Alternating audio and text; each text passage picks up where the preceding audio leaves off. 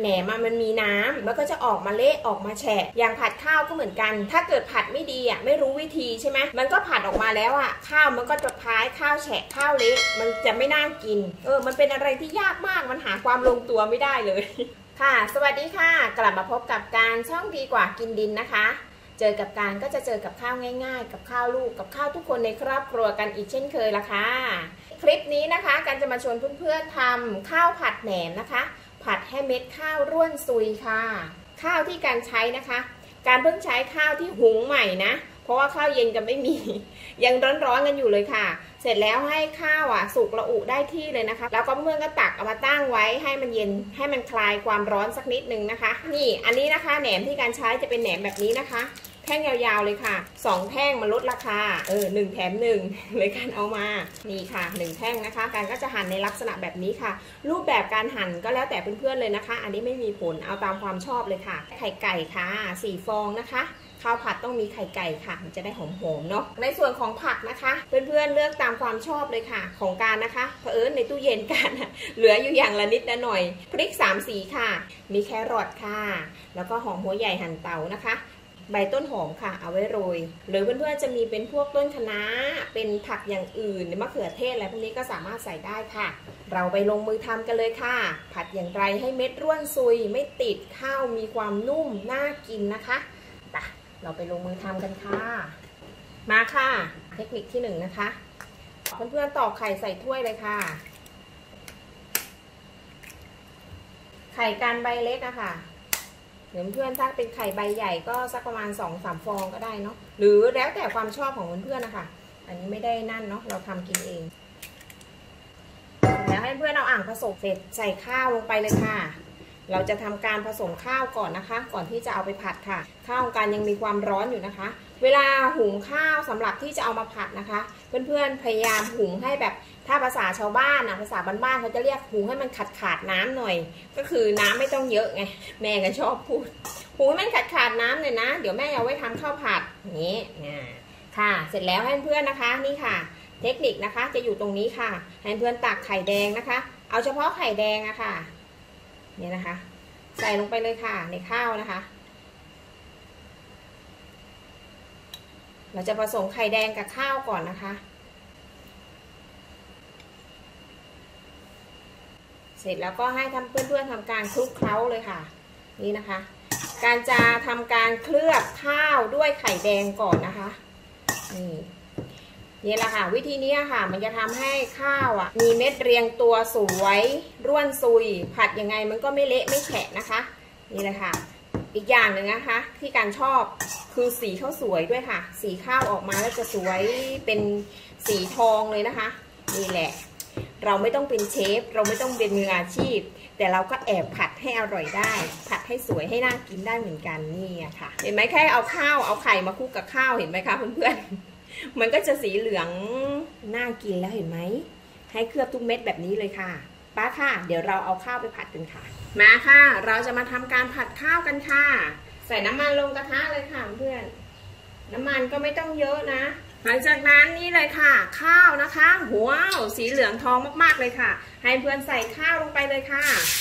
นี่นะคะทำการผัดข้าวเลยค่ะ เนี่ยค่ะ ให้เพื่อนกระจายข้าวแบบนี้นะคะ เป็นการทอดข้าวอะค่ะ ให้ข้าวมีความหอมนะคะเสร็จแล้วให้เพื่อนพลิกนะคะพลิกแล้วก็ทำเหมือนเดิมค่ะ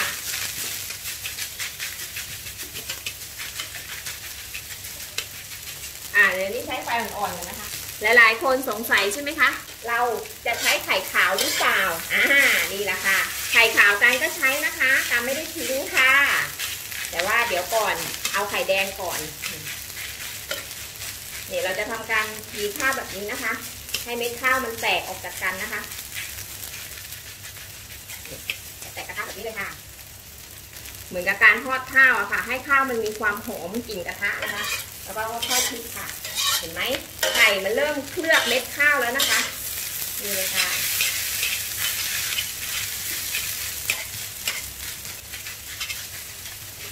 เริ่มมีความหอมนะคะเริ่มมีกลิ่นหอมขึ้นมาแล้วเพื่อนก็ตลบขึ้นแบบนี้นะเพื่อนสังเกตเห็นไหมคะแค่นี้เองค่ะ เม็ดข้าวมันก็แตกตัวเป็นเม็ดไข่เม็ดมันแล้วเนาะมันก็จะร่วนซุยของมันเลยอะค่ะ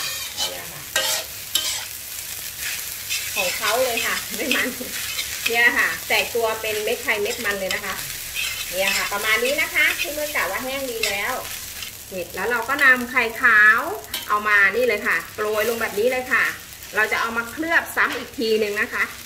เคลือบข้าวกับไข่แดงซ้ำอีกทีหนึงค่ะ นี่เห็นไหมคะเพื่อนๆร้อยเขาเช็ดตัวสักนิดนึงนะคะ นี่มันก็จะเป็นเหลื องอมขาวๆแบบนี้นะคะ นี่เห็นไหมคะอ่า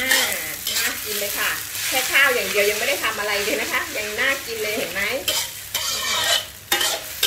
และดูดูก้นกระทะนะคะ ไม่มีการติดเลยค่ะ เห็นไหมนี่มันก็จะได้เป็นแบบนี้นะคะเหลืองเหลืองขาวๆเหลืองเคลือบขาวนะคะ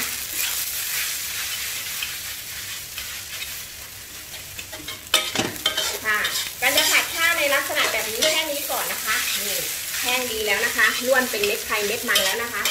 นี่ก็จะได้ลักษณะแบบนี้นะคะ เห็นไหมคะเพื่อนความล้วนอ่าให้เพื่อนตักข้าวขึ้นไว้ก่อนค่ะตักข้าวใส่กระมังเดิมนี่แหละค่ะ ยังไม่เสร็จนะคะ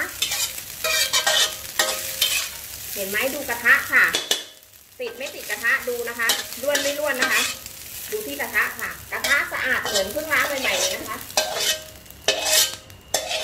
แล้วมันมีความหอมมากเลยค่ะตรงนี้นะคะ เห็นไหมดูกระทะก่อนเลี่ยมเชี่ยมเชียวค่ะ นี่นะคะ ข้าวกันจะพักไว้ก่อนค่ะ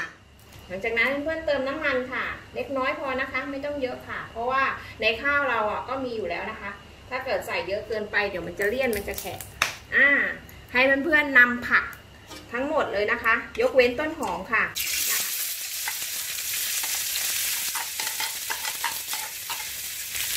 ผักเลยค่ะ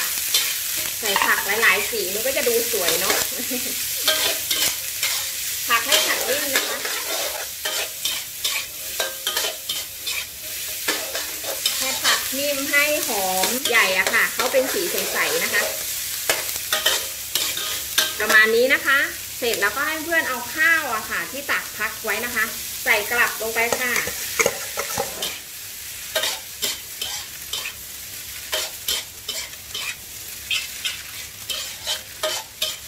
น่าทาน ไหมคะเพื่อนๆ สีเหลืองกระหล่ำฉ่ำเลยค่ะ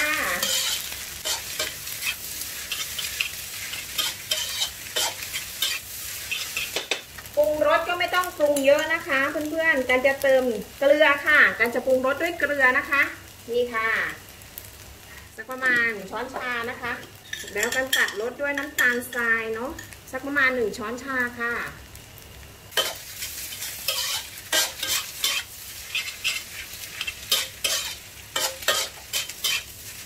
นี่นะคะเห็นไหมข้าวเย็นไม่เหลือไม่มีข้าวเย็นแบบว่าอ๋อตอนเย็นกินข้าวหมดหม้ออะไรเงี้ย ข้าวเราเพิ่งเสียบใหม่ ๆนะคะ เราก็สามารถเอามาผัดได้ค่ะโดยที่ว่าเม็ดมันก็ยังร่วนซุยนะคะ เหมือนกับใช้ข้าวเย็นผัดเลยค่ะนี่นะคะอ่าประมาณนี้นะคะให้เพื่อนชิมรสชาติดูค่ะ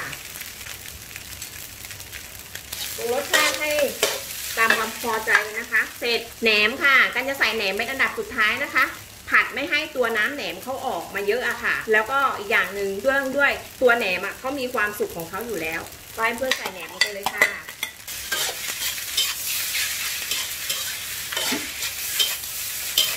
อันนี้เขามีความร้อนนะคะ ว้าวกลิ่นดีมากๆเลยค่ะกลิ่นหอมดีเชียวค่ะ โอเคค่ะ เสร็จแล้วค่ะ ปิดแก๊สเลยค่ะป่าเราไปตักเสิร์ฟกันค่ะ พร้อมเสิร์ฟจ้า